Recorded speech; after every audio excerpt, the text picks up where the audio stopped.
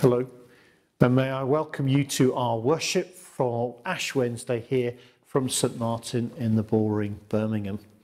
Ash Wednesday is a very important day for many of us as it marks the beginning of the season of Lent.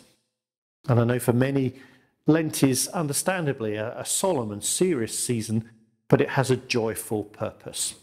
And that purpose is to draw ever closer to God and prepare our hearts, our minds, and our lives to be ready to celebrate all that Jesus did for each of us by his death on the cross, and then to rejoice and celebrate in the good news of his resurrection this coming Easter Sunday. So may I encourage all of us to think prayerfully and thoughtfully about how we can observe Lent and make this a purposeful season to draw ever closer to the Lord. There are lots of ways in which we could do that. Maybe by extra time in prayer, prayer with one another, study of scripture, time in quietness and in solitude with God, maybe by giving up something, that self denial and self discipline, or maybe embracing something. All of these things can be of great benefit as we enter into this wonderful season of Lent and make it a blessing, make it a purposeful season of drawing ever closer to our Lord and Saviour. A little later in our worship, I'm going to be leading us in a time of Holy Communion. And if it's helpful to you, why not pause this recording, get some bread and wine, wafer, fruit juice, and then you can join in in Holy Communion in your own way at home. Before that, Marion's going to be sharing some thoughts from God's Word, so you might like to also find a Bible and open it to Matthew chapter 6. Equally, it's our practice and custom here at St. Martin's to offer to all those who wish uh, to receive a sign of the cross in ash on our forehead as a symbol of our seeking of God's forgiveness, our desire to confess, our, our desire to repent and to change in humility to come before God looking for his grace and mercy and forgiveness. Now, I can't do that for you uh, this year. But if you'd like to do that for yourself at home, uh, maybe find some way, just get a match, light it, blow it out, and then rub your fingers when it's cooled on the end of the match. And that should just give you enough ash to draw a little cross on your forehead. But if you don't have access to anything like that, just do it symbolically. It's what it represents that really matters. And when we get to that point in our worship, maybe just draw with your finger a sign of Jesus' cross on your forehead as a sign of your desire to seek repentance and forgiveness through his cross. So let me lead us in prayer. And I'd like to begin with some words from David from Psalm 51. And David wrote this The sacrifice of God is a broken spirit, a broken and contrite heart you will not despise. So, brothers and sisters in Christ, since early days, Christians have observed with great devotion the time of our Lord's passion and resurrection. It became the custom of the church to prepare for this by a season of penitence and fasting. At first, this season of Lent was observed by those who were preparing for baptism at Easter and by those who were to be restored to the church's fellowship from which they had been separated through sin. In course of time, the church came to recognize that by careful keeping of these days, all Christians might take to heart the call to repentance and the assurance of forgiveness proclaimed in the gospel. And so grow in faith and in devotion to our Lord. I invite you, therefore, in the name of the church, to the observance of a holy Lent by self examination and repentance, by prayer, fasting, and self denial, and by reading and meditating on God's holy word. Therefore, let us pray together for God's grace to keep this Lent faithfully. Heavenly Father, your Son spent 40 days in the wilderness in prayer and preparation for his life of ministry. He was filled with the Spirit, fed on your word, and resisted the temptations of the devil. In imitation of our Lord and Saviour, may we use this season of Lent wisely and positively to grow through spiritual disciplines in faith and love, to become more like Jesus and to walk closely with you each and every day. Amen.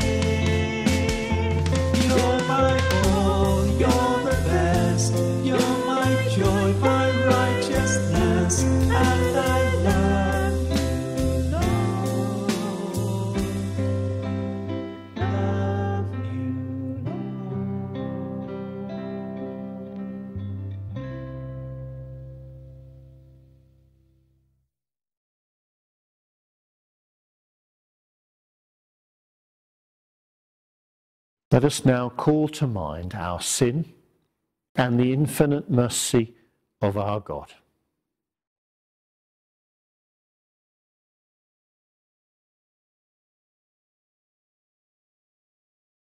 Make our hearts clean, O God, and renew a right spirit within us.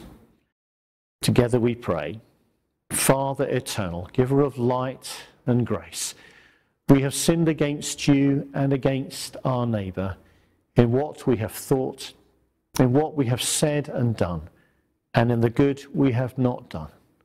Through ignorance, through weakness, through our own deliberate fault, we have wounded your love and marred your image in us. We are sorry and ashamed and repent of all our sins. For the sake of your Son, Jesus Christ, who died for us, forgive us all that is past and lead us out from darkness to walk as children of light. Amen. As a sign of the spirit of penitence with which we shall keep this season of preparation for Easter, I invite you to receive on your head in ash the sign of the cross, the symbol of our salvation. We pray. God our Father, you create us from the dust of the earth. Grant that these ashes may be for us a sign of our penitence and a symbol of our mortality. For it is by your grace alone that we receive eternal life in Jesus Christ, our Saviour. Amen.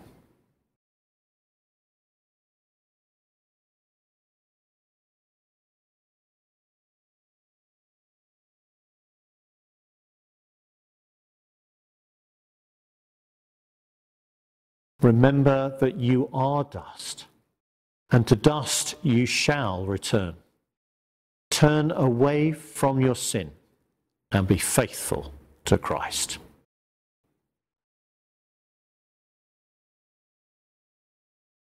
God our Father, the strength of all who put their trust in you, mercifully accept our prayers.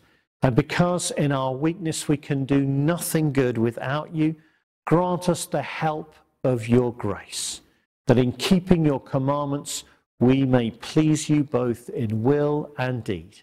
Through Jesus Christ our Lord. Amen.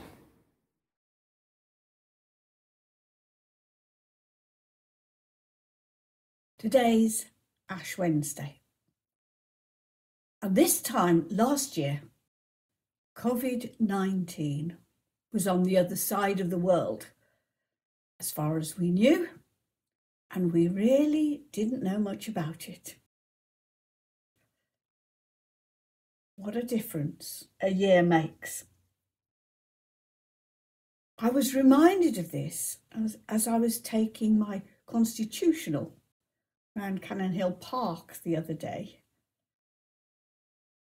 We'd had a, a light powdering of snow, and I'd got my trusty staff, my, my thumb stick, and I was walking round.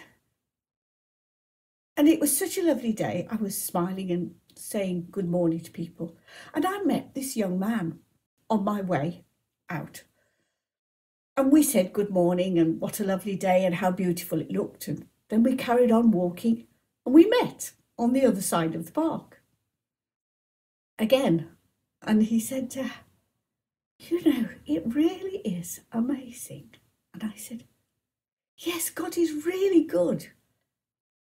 And he said, He is. I got over COVID in March and I realised how wonderful life is.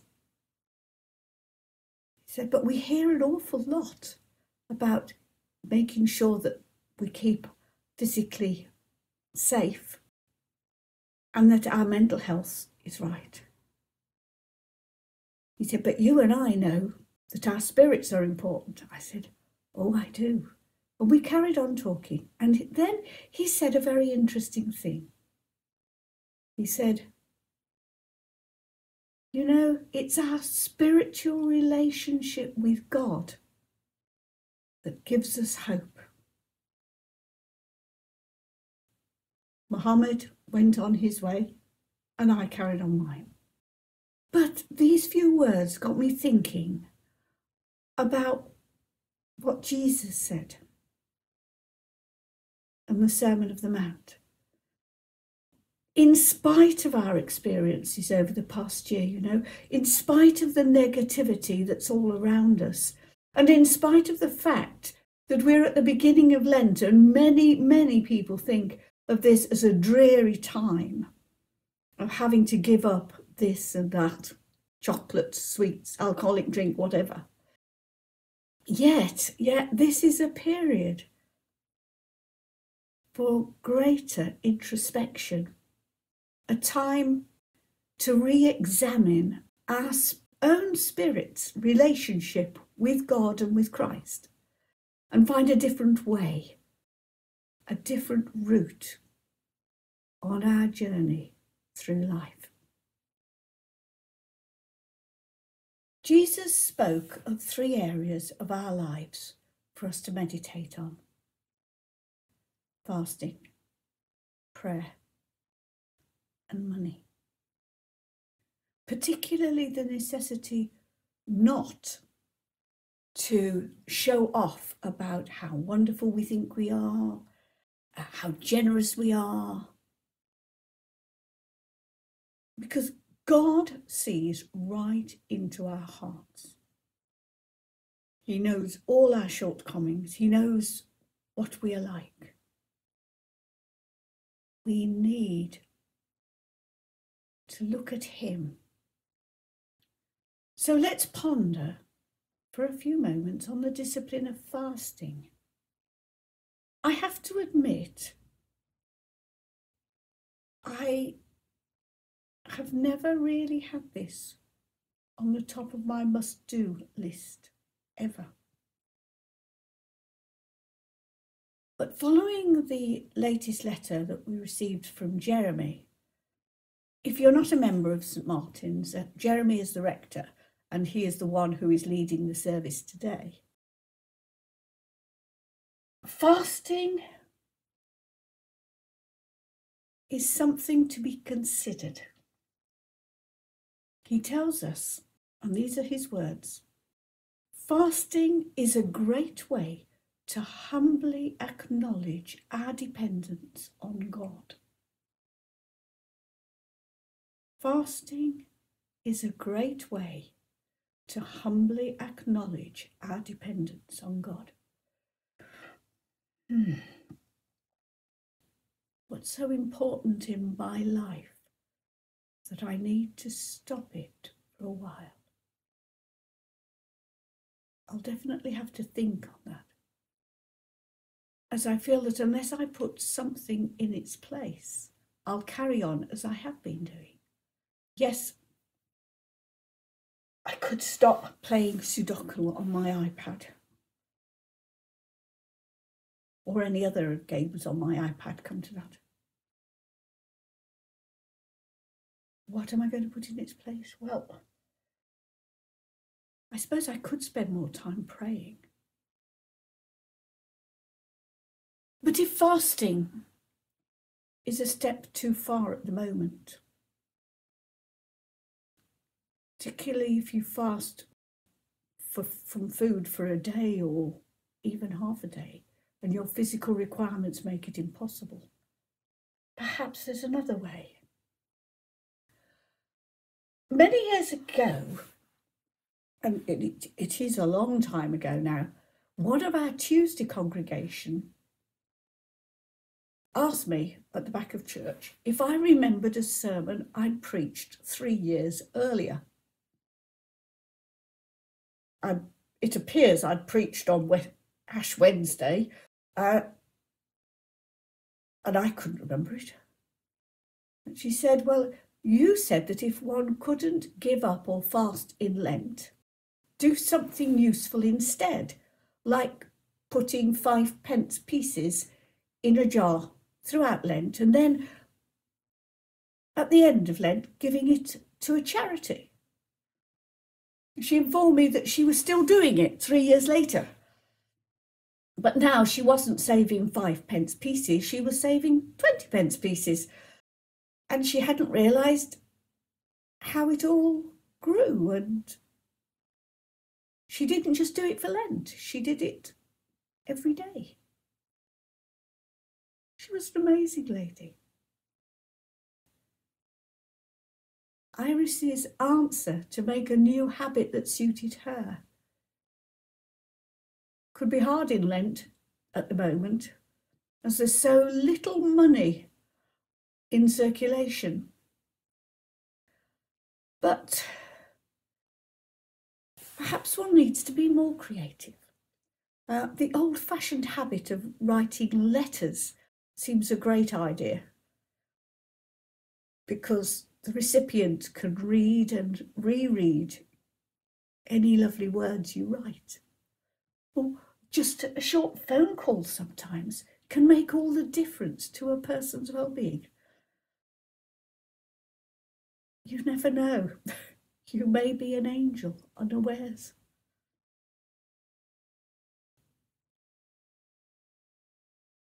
We meet frequently on Zoom and would love to welcome any of you who can join us. The evening Bible studies and the new Lent course are a great way of keeping in touch, as well as being a time for deepening our faith. You never know. You, you might just say the right word for someone who's there. You might just make a great difference in prayer. But if that's not your thing, just resolving to spend a few moments each day, just putting time aside to read a passage from the Bible,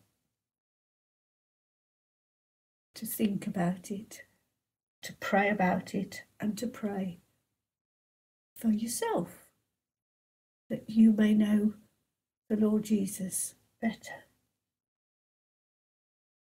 And I promise you, I can, I can promise you, it'll have a most amazing effect.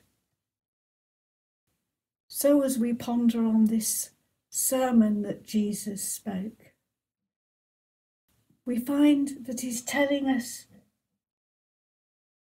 we've to give without ostentation, we've to pray quietly, we've to fast secretly.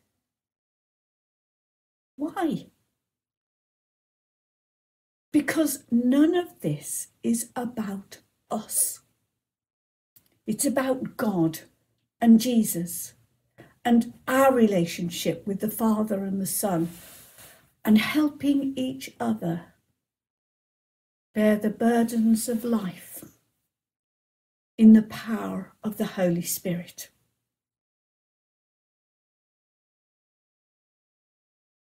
So let us pray together. Lord, this Lent, make us not too busy to pray, but slow us down to ponder anew your place in our hearts, that we, we may be as Christ to those who walk with us and to those we meet on our journey of life. May your name be glorified. Amen.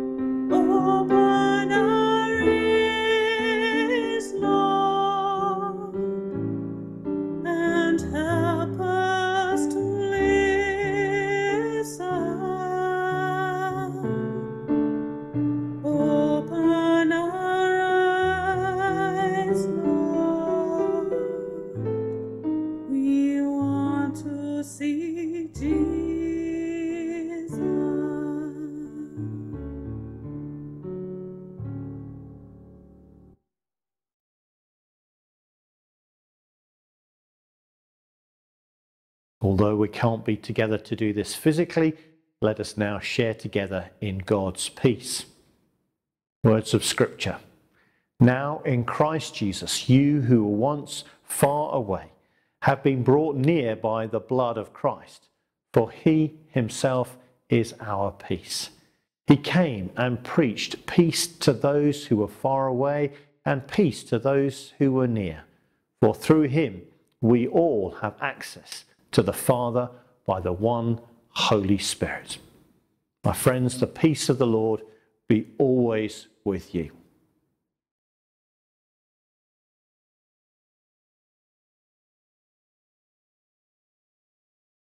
Brothers and sisters, the Lord is here. His Spirit is with us.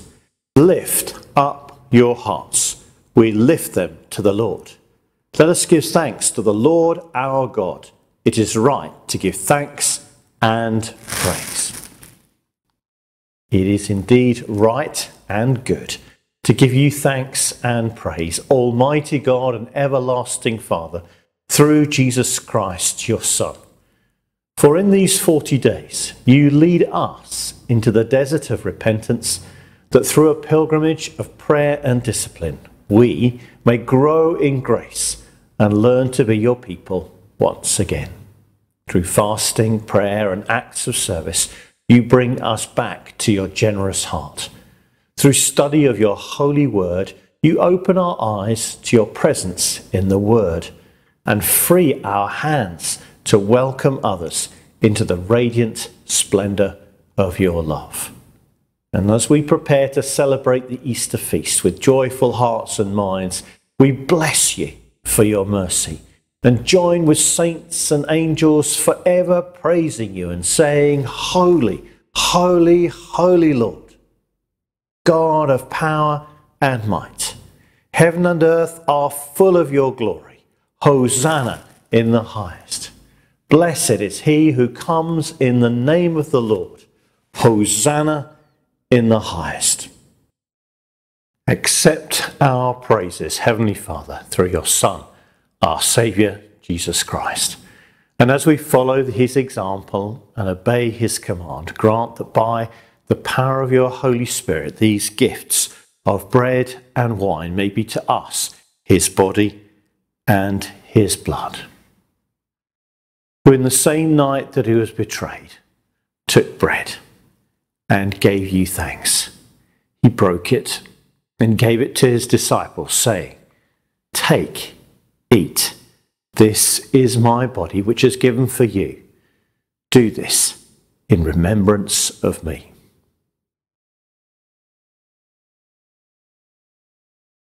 And in the same way, after supper, he took the cup and gave you thanks.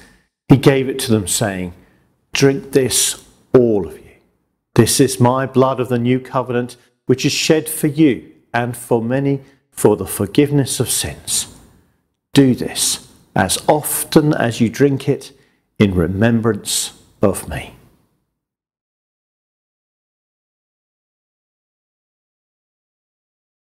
Therefore, Heavenly Father, we remember his offering of himself made once for all upon the cross. We proclaim his mighty resurrection and glorious ascension. We look for the coming of your kingdom. Christ has died. Christ is risen. Christ will come again.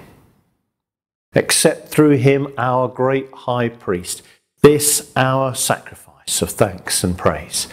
And as we eat and drink these holy gifts in the presence of your divine majesty, renew us by your Spirit, inspire us with your love, and unite us in the body of your Son, Jesus Christ, our Lord. For through him and with him and in him, in the unity of the Holy Spirit, with all who stand before you in earth and heaven, we worship you, Father Almighty, in songs of everlasting praise. Blessing and honor and glory and power be yours forever and ever. Amen. So, as our Saviour taught us, we pray together Our Father in heaven, hallowed be your name. Your kingdom come your will be done on earth as in heaven. Give us today our daily bread. Forgive us our sins as we forgive those who sin against us. And lead us not into temptation, but deliver us from evil. For the kingdom, the power, and the glory are yours, now and forever. Amen. We break this bread to share in the body of Christ. Though we are many, we are one body because we all share in one bread. Brothers and sisters, the body of Christ.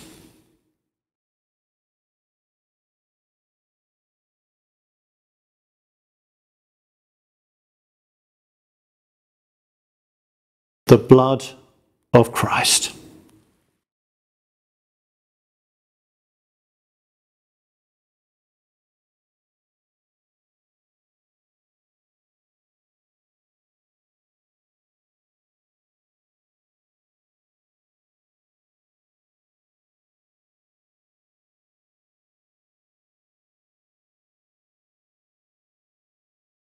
Our prayer after communion. God of our pilgrimage, you have fed us with the bread of heaven. Refresh and sustain us as we go forward on our journey. In the name of Jesus Christ, our Lord. Amen.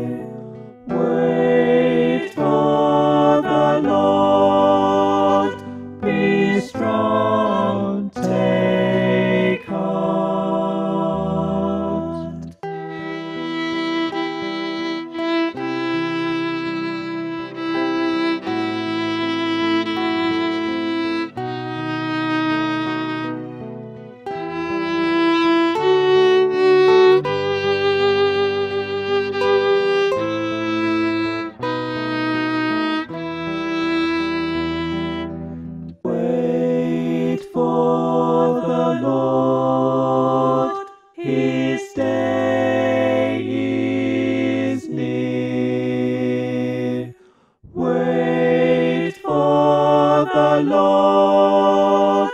Be strong, take heart.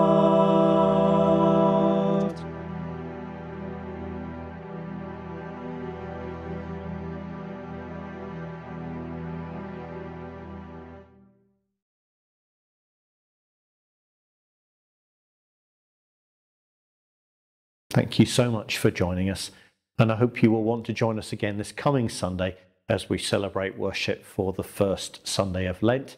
And we're going to begin uh, looking at the book of the prophet Malachi. Please do join us if you can. I'd like to end our worship now with a prayer of blessing. Christ, give you grace to grow in holiness, to deny yourselves, take up your cross, and follow him. And may the blessing of God Almighty, the Father, the Son, and the Holy Spirit be among you and remain with you always. Amen. Go in peace to love and serve the Lord. In the name of Christ. Amen.